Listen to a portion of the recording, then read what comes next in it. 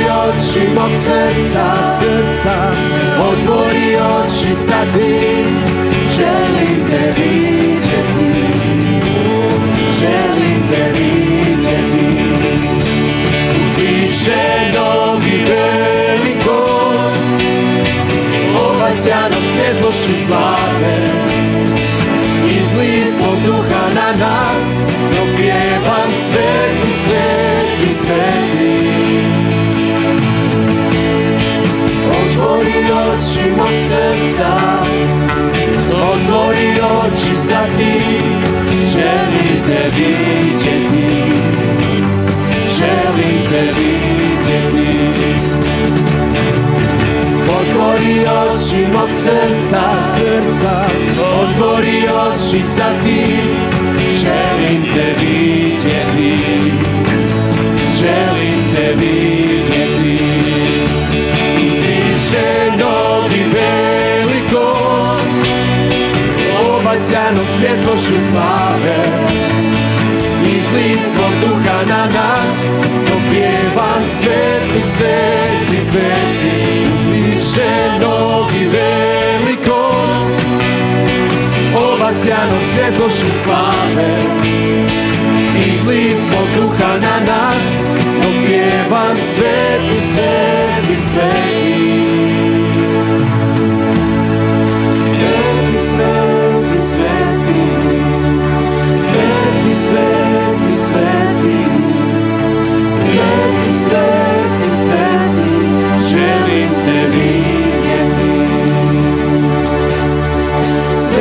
Sveti, sveti, sveti Sveti, sveti, sveti Sveti, sveti, Želim te vidjeti. Uzvišenog i velikog Obasjano svjetlošću slave. Izli svog duha na nas Dok pjevam sveti, sveti, sveti Sveti,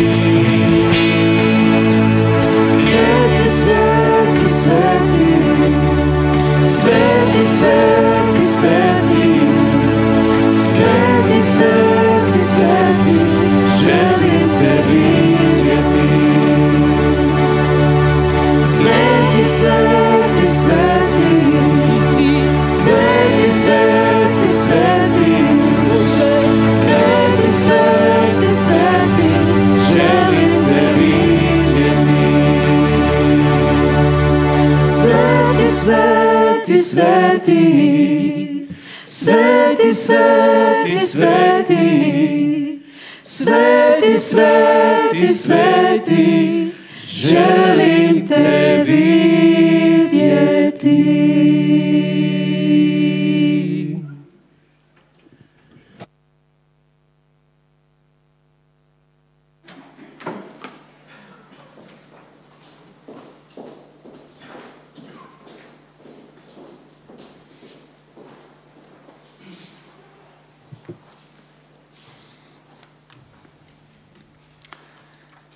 Kojem blagdanu idemo u susret?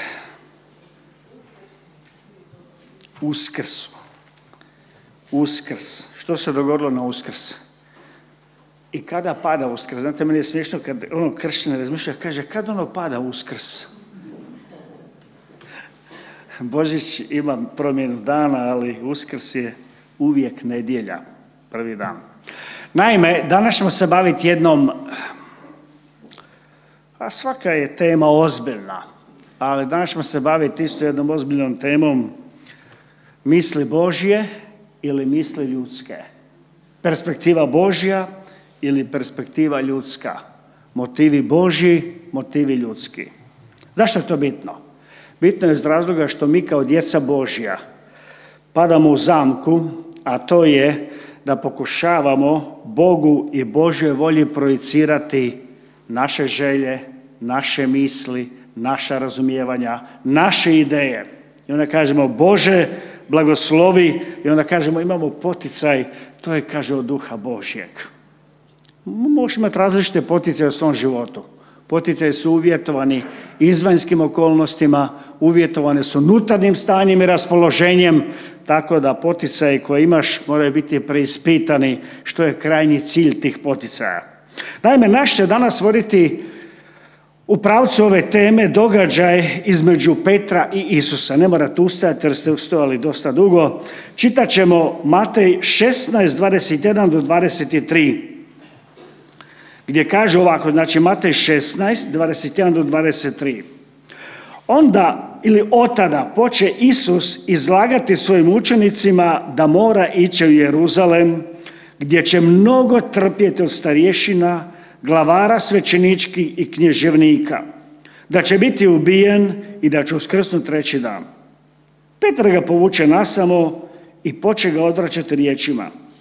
Ma neka ti Bog bude milostiv gospodine, Bože sačuvaj, ma tebi se takvo što ne smije dogoditi. On se okrenu Petru i reče, Sotono, idi mi s očiju, ti si sablazan za me, jer tvoje misli nisu Božje, već ljudske. Ako pogledamo kontekst ovog pročitanoga teksta, znači tekst prije, tekst iza, e, Isus je na neki način pohvalio Petra. Što ono Petar rekao kad Isus postoje pitanje mišljenje ljudi o sebi? Što je Petar rekao? Ti si Krist, sin Boga živoga. Ali Isus ga odmah, kako se kaže, stavlja na mjesto, kaže to nije od tebe, tvoje tijelo krv, tvoje umijeće, tvoj ljudski potencijal ti to nije objavio, nego to od mog nebeskog oca. Postavlja se pitanje zašto je Petar ovako reagirao na ovu Isusovu izjavu. To je jedan, jedan od prvih Isusovih navještaja. U svakom evanđelju ih ima najmanje tri, gdje Isus navješta da će biti doći vrijeme njegovog uhićenja, doći će vrijeme njegovog suda, sve će to u njemu izazvati trpljenje, presuda će biti smrt i tako dalje, bit će na križu i, i onda su oni se snebivali. Čekaj, čekaj, to ne ide u naš koncept tebe, Sina Božjega, koji činiš tako veličanstvena Božja djela. Ti ozdravljaš, ti oslobađaš, ti hraniš, ti izgoniš demone, ti uskrisuješ mrtve. Pred tobom ljudi padaju, pred tobom nebe, e, duhovni svijet pada. I sada da se ovako nešto dogodi s tobom. Naime, moramo ići u koncept njihovih očekivanja. Što su ono učenici učestalo pitali Isusa tijekom njegove javne službe i njega sa njima i njih sa njim? Kada ćeš što? Obnoviti Davidovo kraljevstvo. A Isus njima kaže, moje kraljevstvo nije od ovoga svijeta. Mojim djelovanjem, mojim službom, sa mnom je došlo k vama Božje kraljevstvo. Ma da, mi to sve prihvaćamo, mi sve to... E, ljudske misli Bože. Mi to sve prihvaćamo. Da, da, radi se o kraljestvu i ti misliš na kraljevstvo i mi mislimo na kraljevstvo, ali kad će se dogoditi Davidovo kraljevstvo? I onda kad Isus bio silan u riječima, u dijelima, u čudima, u znamenjima, u životu, oni su očekivali to je sada, to je naš Isus, to je onaj kojega mi hoćemo slijediti, nema pred njim nemoguće. I sad kad Isus njima govori, hej, ali predamnom je kruna, vrhunac onoga zašto sam ja došao. A ona će biti prožeta patnjom koja je nezamisliva za čovjeka. Znate, kad ovdje kaže patnja, ne misli prvenstveno na fizičku bol na koju mi ljudi odmah mislimo. Ovdje se misli, znate, na onu duboku bol duše, bivs bića, kada tvoj stvoritelj kaže, ej stvorenje, ti se ukrenuo leđa meni, ti si mene ostavio, ti si mene prezreo, ti ne mariš za mene, rob si svojih grijeha koji su pretočeni u životne navike i ti trebaš pomoć. Evo ja odlučujem tebi pomoć. Ja odlučujem sve to uzeti što tebe pritiše, što tebe okovalo, na sebe to odlučujem uzeti. Ali čovjek to tako ne vidi. Čovjek to tako ne vidi. I sada, kad su oni navikli da vide njega kako silno čini, kako ništa pred njim nije nemoguće, kako sve i svi strepe pred njim, kako ljudski pokušaj su jalovi, i sad on kaže da, ali ja ću morat patiti. Do razine smrti.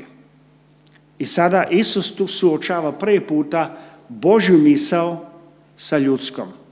Kakva je bila Petrova reakcija? To je reakcija, prirodna reakcija čovjeka. Bože, sačuvaj da se tako nešto dogodi. Ma neka Bog bude milostiv, s tobom se tako nešto ne smije dogoditi. Pa ti si Boži blagoslov. Pa ti si Bože kraljstvo među nama.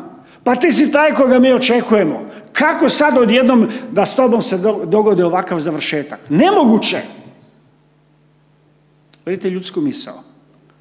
Božja namisao i ljudska namisao. Sudaraju se. Ne razumiju se. I onda Isus što je rekao, jako je ovo teško, kad kaže Sotono, idi mi s očiju. Pazite koliko je to bilo teško, kad on kaže ti si mi sablasan. Neki prijevode kažu ti si mi spoticaj. I onda mu objasnio zašto. Kaže, tvoje misli nisu Božje, već ljudske. Apropo toga možemo napraviti digresiju tamo za Rimljanima 12. prvo poglavlje, eh, 12, Rimljanima 12. poglavlje, prve tri vrste kad kaže što bi nama valjalo učiniti da se ne oblikujemo prema ovome svijetu. Što bi nam valjalo učiniti? Obnavljati što? Obnavljati svoj um. Čime? Riječju Božjom. Jer upravo riječ Božja je Božja misao. Božji naomi, Božja volja. Otkrivenje samoga njega. I kada moj misaoni sustav je njome ispunjen, kada je njome prožet, kada je sadržaj mojeg misli i mog uma riječ Božja, onda ću ja u skladu toga djelovat. Onda će Božja misao njegovom riječju, dostupna meni, oživljanje njegovim duhom, biti djelotvorno u mome životu i ja ću onda biti u skladu onoga što je volja Božja. Tamo tako i kaže. Da upravo to će nam pomoći da možemo uočavati što je dobro, ugodno i savršeno i tako dalje, što je volja Božja. Riječ Božja nam daje, ja ću sam uzeo dva dobra naputka koje daju što je to Božja misao po osobi Isusu Kristu bila namijenjena da bi čovjek spoznao. Naime, ovdje u pozadini temeljno je da čovjek ne može povezati da Božja misao za čovjeka uključuje ono što čovjek najmanje voli. A što je to? Ono što svi želimo izbjeći. Patnja patnja, bol. Onda se pitamo zašto, što je uzrok patnjama i bolima? Ljudi će lakonski reći, to je posljedica pada u grijeh. Međutim, tu posljedicu pada čovjekovog u grijeh Bog je iskoristio i koristi u dobro. Naime, Pavao tamo kaže drugim koričanima, kaže mnogim nevoljama ili kroz mnoge patnje valja nam ući u kraljestvo Božje. Onda se pitamo, zašto trebamo patiti? Pa mi imamo naj, najsilnijega sa sobom. Kaže, kad on s nama, tko ili što može protiv nas? A mi proživljavamo patnje, proživljavamo nevolje, proživljavamo pritiske, neizvjesnosti, tjeskobe i tako dalje. Hrpe tih stvari pa se pitamo, Bože, gdje si ti u toj cijeloj priči? Gdje si ti unutar mojega života kada ja onako dalje sve proživljavam poput ovog svijeta? Što, pa, što je rekao ono Davidu u 73. salmu? Ja sam počeo promatrati bezbožnike. Njima kao da ide bolje nego meni. Kao da su uspješniji, kao da manje pate, kao da manje se brinu. I kaže, skoro sam se poskliznuo. Dok, kažem, Bog nije pokazao njihov krajnji ili trajni kraj. To je ono što je bilo, što je Petra navelo da kaže, Bože, sačuvaj. Pa ne možeš ti koji uzdravljaš druge. Ne možeš ti koji hraniš druge. Ne možeš ti koji iskriseš mrtve. Ne možeš ti koji oslobađaš zarobljene. Ne možeš ti koji tješiš. Ne možeš ti čija riječ kada kažeš je stvaralačka, obistinje se. Pa ne možeš ti biti mučen od ljudi. Ovdje navodi kategorije crkvenih autoriteta koji su sudjelovali u tome. I književnici, i starešine, i svećenici i tako dalje. Ne možeš ti biti mučen. To, to je nedopustivo. To nije Božja volja. Eto ti sudar ljudske misli i Bože misli. A što nama kao djeci Božoj valja činiti? Čemu treba dati prednost? Božim mislima ili ljudskim mislima? Božim naumima ili ljudskim naumima? Božoj perspektivi ili ljudskoj perspektivi? Znate, koliko god mi dali prednost našemu, to se neće ostvariti. I onda ćemo mi dodatno patiti, izjedat ćemo se, mučit ćemo se, postavljat ćemo pitanja, tražit ćemo odgovore i opet nećemo biti zadovoljni. Naime, idemo na ono što je Božja misao bila za Isusa. Imamo prekrasan tekst u Mateju 20, 27. 28. vrsta kažu sljedeće ovako. Znači, Matej 20, 27, 28. Tko želi biti prvi među vama, neka bude vaš sluga. Po primjeru koga? Sina čovječega koji nije došao da mu služe, nego da on služi i da dade svoj život kao otkup umjesto svih. Ovaj tekst imate i u Marku 10.45. Evo Božja misao koja je data nama, koja se sudara s našom misli. Kaže, tko želi biti prvi među vama, neka bude vaš sluga. Naime, Isus nije bez razloga uzeo izjavu sluga. Ono vrijeme sluga je bio onaj, sluge su bili u svakoj dobrostojećoj kući onog vremena, oni su bili ti koji su morali izvršavati, imali su hrpu obaveza, ali nisu imali prava, ponekad su bili vlasništvo gospodara gdje su služili, oni s njima mogu postupati kako god je htio i tako dalje i tako dalje. Isus uzeo sliku sluge onog vremena. Znači imaš obveze, a nemaš prava. To se kosi s našim ljudskim. Evo pogledajte naše vrijeme u kojem mi živimo. Ova ograničenja moram se dotaći, to je sastavni dio sad našeg života. Ljudi kažu kad će doći ono normalno? Kad će doći? Kad će prestati te zabrane? Kad će prestati ta ograničenja? Znači, sudara se s onime na što smo mi navikli. Možda nikad neće doći, možda će biti nešto drugačije nego što smo navikli do sada. Sluga ima obvezu, ali prava nema. Zašto? Jedan jedini valjani odgovor. On nije svoj gospodar. On nije svoj gospodar. Njegov gospodar je drugi i njegov vlasnik je drugi. Što u Rimljanima kaže riječ Božja za nas kao djecu Božju? Je li mi pripadamo sebi? Jesmo li mi gospodari svojih života? Ili to ne stoji? Čiji mi jesmo i kome mi pripadamo? Što tamo kaže? Vi niste svoji. Ja sam vas kupio, ja sam vas otkupio, vi ste moji. Vi meni pripadate. Vidjet ćemo završetak ovoga događaja. Znači ovdje Isus je istaknuo dvije stvari. Ja sam došao ne da meni služe, ne da se bave sa mnom, nego da ja služim. I znate do koje razine? Da platim tu razinu služenja, da platim svojim životom, da se potrošim do kraja. Do kraja.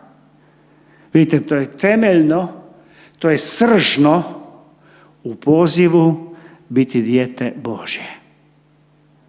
Ti jesi tu, ali ti si u pozadini. Ispred tebe su uvijek drugi. I ti si tu radi njih. Služenje nadilazi, nadvladava, poništava jednu manu koja je nama prirodna. A ta mana se zove, ona je grijeh, ona se zove sebičnost. Znači, služenje isključuje sebičnost. I onda pitamo mi do koje mjere. Pa onda mi procenjujemo, pazite, naša ljudska misao, moram ja procijeniti do koje mjere ću ja biti na raspolaganju bilo kome. Isus kaže, ja sam došao služiti. I to je Boži kriterij. Ako želiš pred njim za vječnost biti proglašen velikim, on kaže da moraš dok živiš ovo zemaljski život kao moje dijete, moraš biti na raspolaganju svima. Moraš služiti svima. E, to je teško. To je poziv djeteta Božeg. Mi pitamo, a što da radim? Kako da ljudima pokažem da pripadam Kristu? Što bi ja to trebao činiti kao dijete Božje?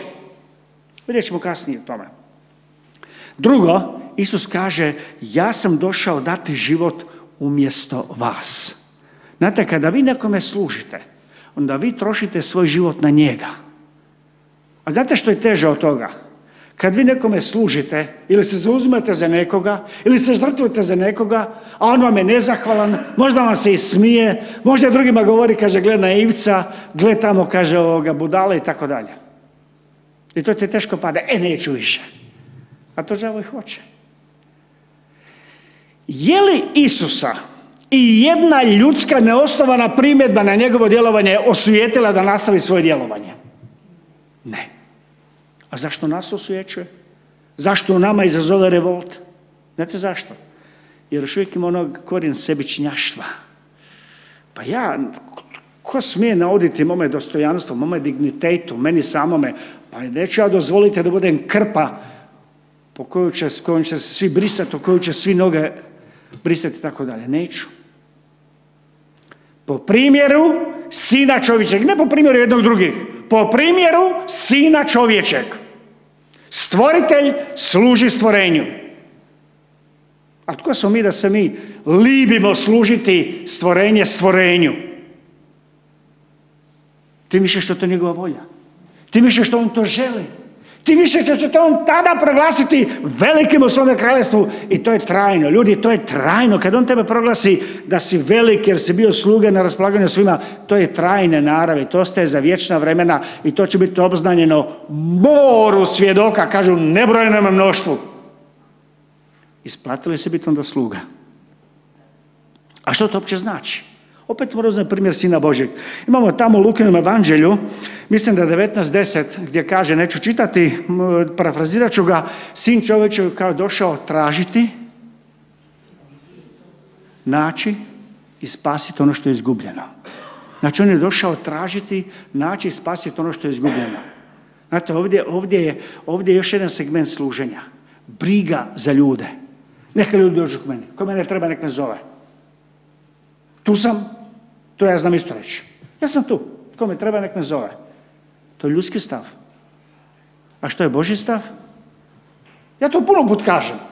To ste vi čuli. I na skupštini s i tako dalje. A što je Boži stav? To je ljudski stav. A što je Boži stav? Kaže, sin čovjek je došao tražiti, gledati, naći i spasiti ono što je izgubljeno. Znači, ti si taj aktivan koji gledaš tko je u kakvoj situaciji, kome treba pomoć. Ali da bi to napravio, moraš potrošiti vrijeme, energiju, moraš biti stalno aktivan, promatrati i tako dalje i onda moraš dati ono što potrebiti, od čega potrebiti ima potrebu. Vidite, to znači služiti. Zato je jedan, jedan stari pastor, on je u mirovini, još je živ, Kaže, vi danas, kaže, niste pastiri, nego ste vi, kaže, pastori. A kaže, pastori su gospoda. Koji, kaže, sjede u uredu i kaže, ljudi znaju gdje, se, gdje ja jesam, prekreži noge i ruke, tu sam, ako me trebaš, k meni dođi. Ako me ne trebaš, znači onda smatraš da možeš i bez moje pomoći, savjete i tako dalje. A on kaže, pastiri što rade pastiri? Kaže, on uvijek ide za svojim ovcama, on se bavi svojim ovcama. On se bavi svojim ovcama. Vidite razliku Božjeg poimanja služenja i našeg ljudskog. Misli Božje i misli ljudske. I zato da se puno puta pitamo zašto nam u životu ne ide očekivano? Zašto u životu nam se ne događa više Božje blagoslova? Zašto u životu nekako nismo zadovoljniji? Zašto nemamo ispunjenije živote? Zato jer dajemo mjesta ljudskom poimanju, ljudskom razumijevanju, ljudskim stavovima, ljudskim mislima dajemo mjesta, pripisujemo ih da je to ono što Bog od nas očekuje, to prakticiramo i onda na kraju opet nismo zadovoljni, promašili smo volju Božju, ljudi oko nas i dalje ostaju nedohvaćeni, nezahvaćeni i tako dalje, a mi mislimo Bogu služimo. I onda si dodatno namećemo neke aktivnosti koje se ne tiču ljudi da umirimo vlastitu našu savjest.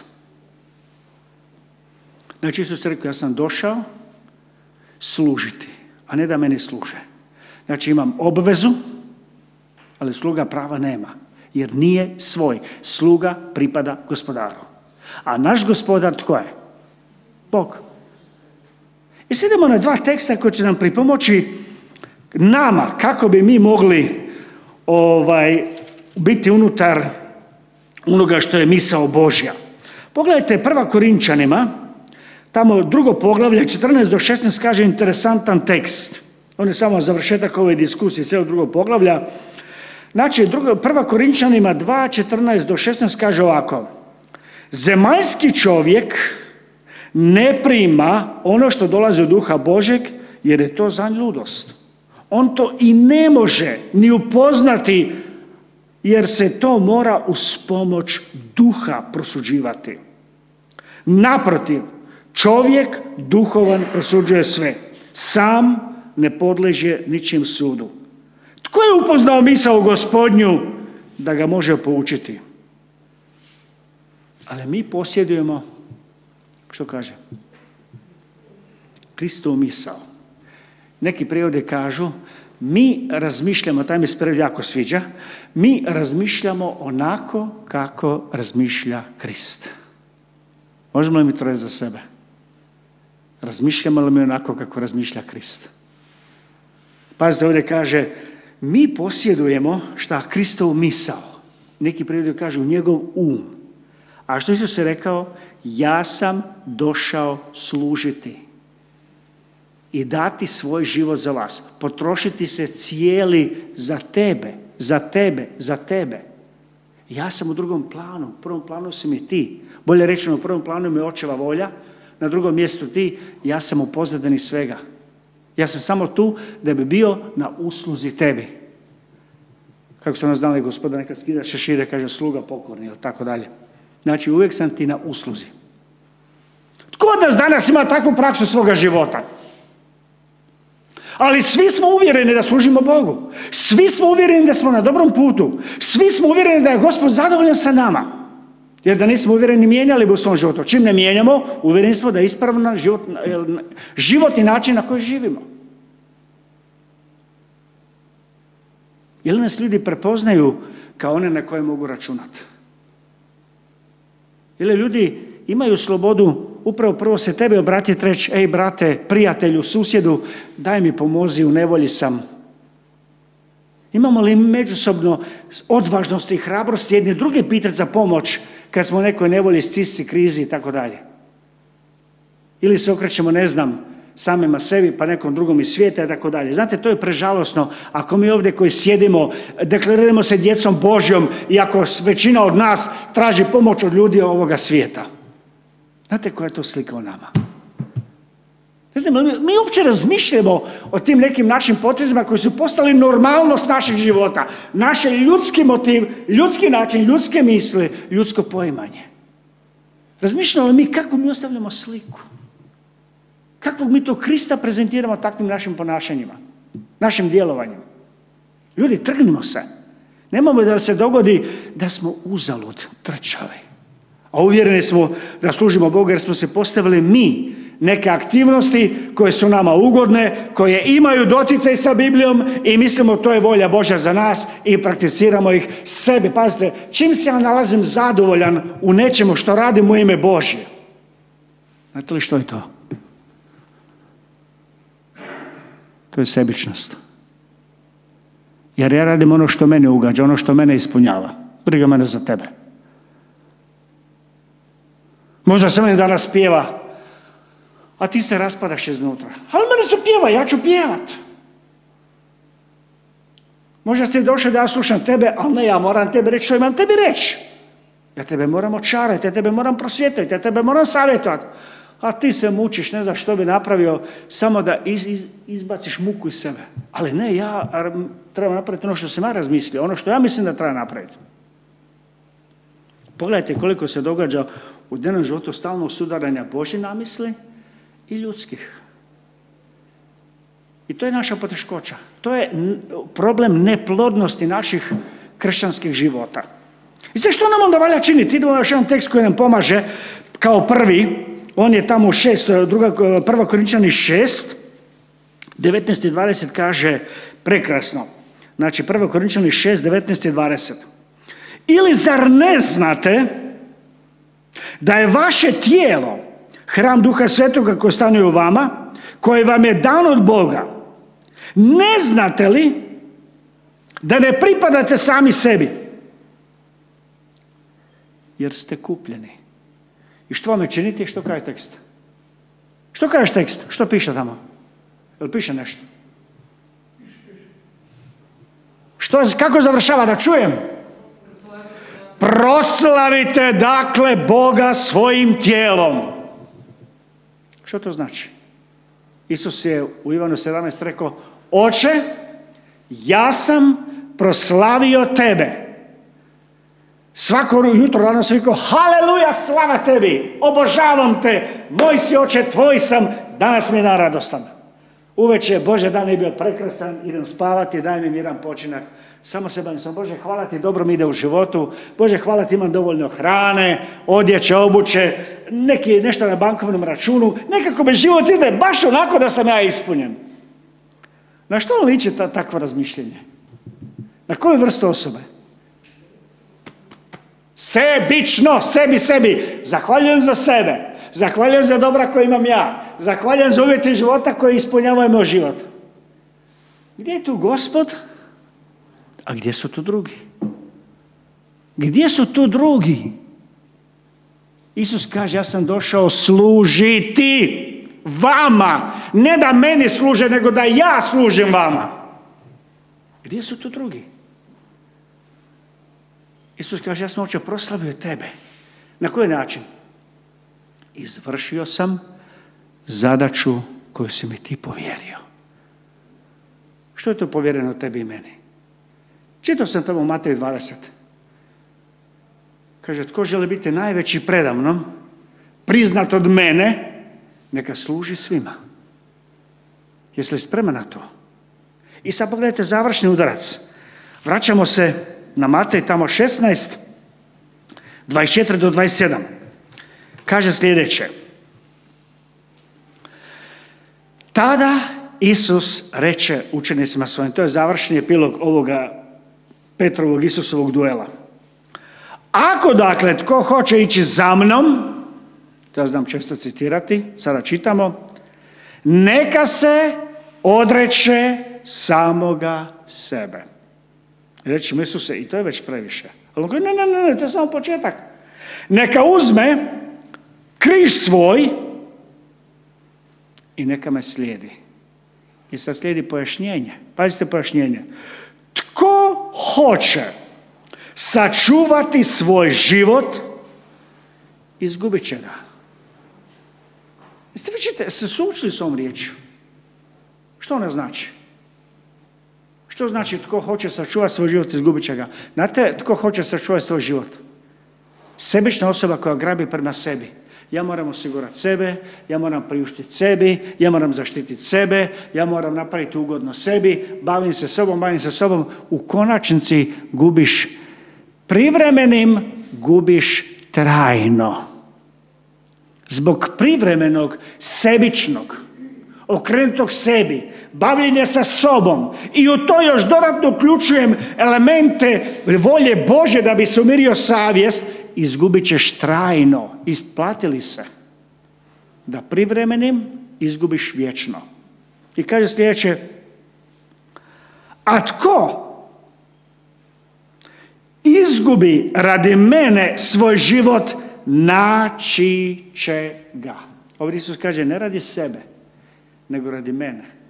Znate što ti Isus hoće reći? Tko ima moju misao, tko ima moju tko razmišlja onako kako ja razmišljam, tko želi činiti onako kako sam ja činio, taj troši svoj život na ispunjavanje moje volje. On nije svoj, on je moj. I on je svoj život potrošio na ispunjavanje moje volje i taj će ga naći. Ja ću ga proglasiti vjernim slugom i sluškinjom, obznanit ću ga i proglasit ću ga velikim. I to je za, za sva vremena, to je vječno, vječno, vječno to nema vremenskog ograničenja. I sad pogledajte ono što nama ne ide u glavu. Kaže, što koristi čovjeku ako dobije sav svijet, a izgubi svoj život?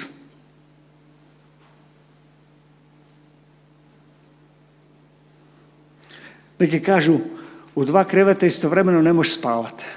Kaže, dva para cipela istovremeno nositi ne možeš sa dvije, tri žlice istovremeno ne možeš jesti, ali tako?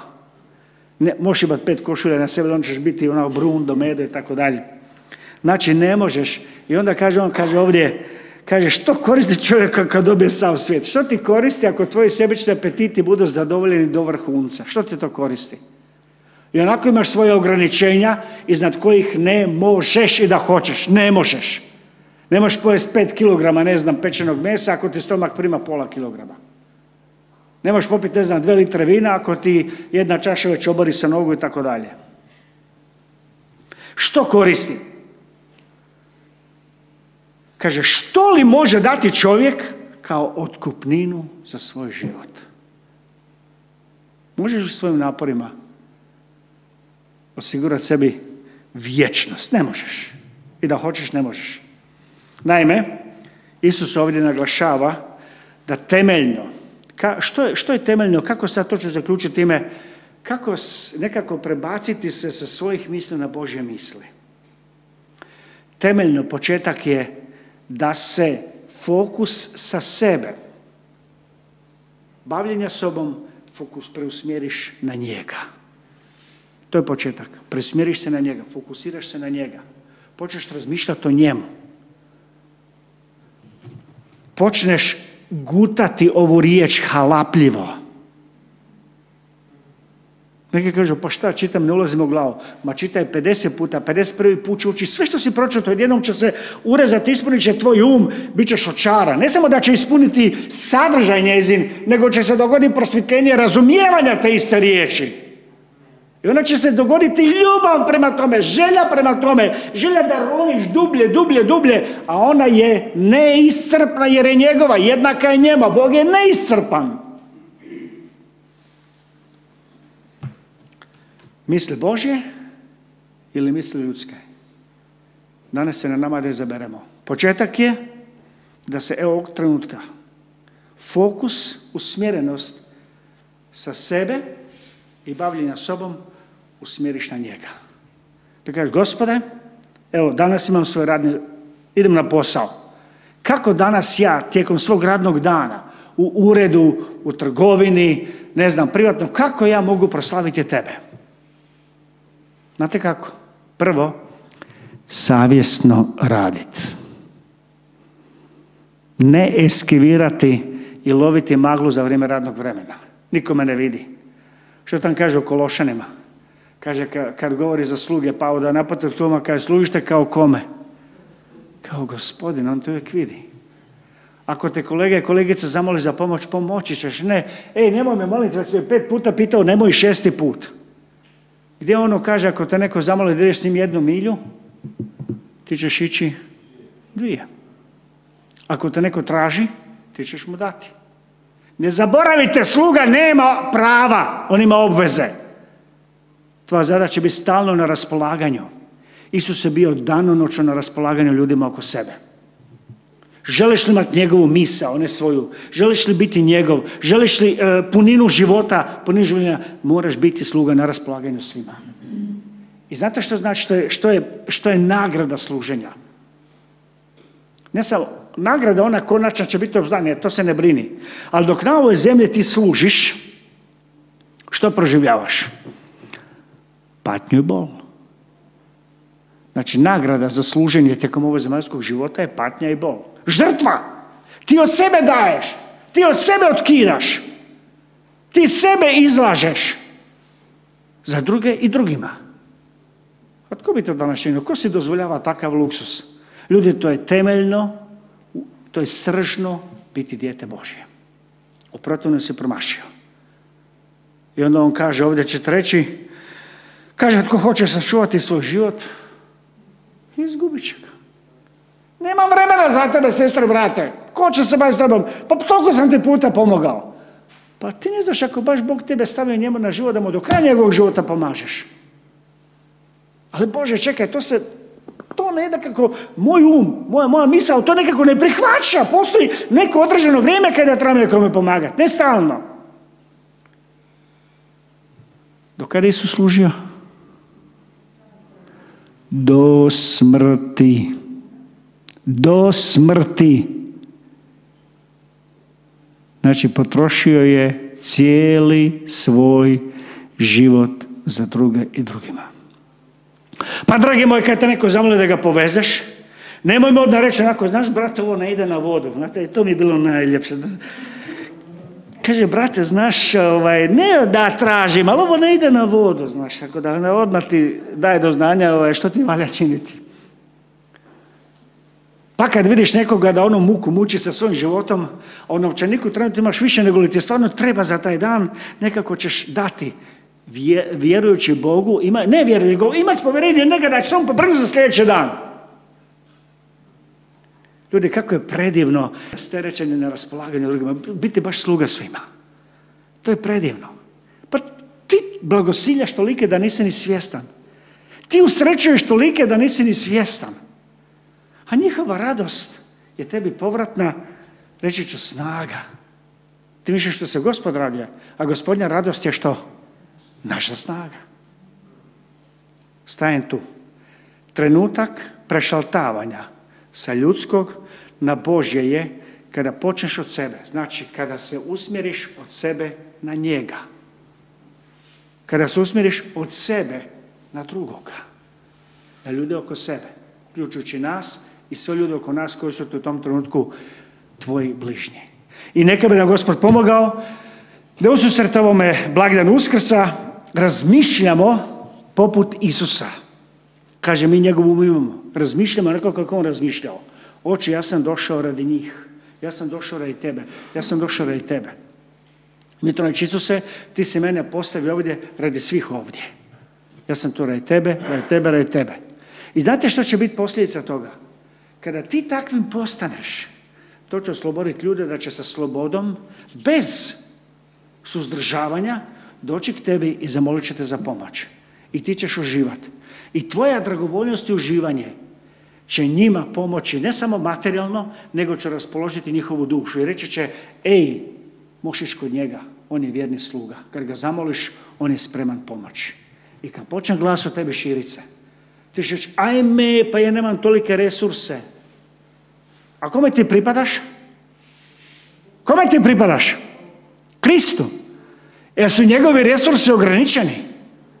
Vidite, to dolazi, to se se nadovezuje niz tih posljedica. Znači, ovaj, kada kažeš nemam tolike resurse, to sad dokazuje tvoje povjerenje u njega. Da će on zadovoljiti tvoju potrebu, što kaže tamo u Solunjanima, kaže on će dati i više nego li vama treba. Zašto?